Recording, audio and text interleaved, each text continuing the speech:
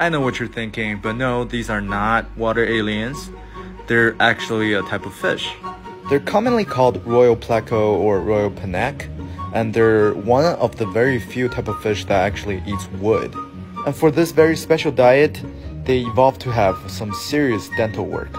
Check out those teeth.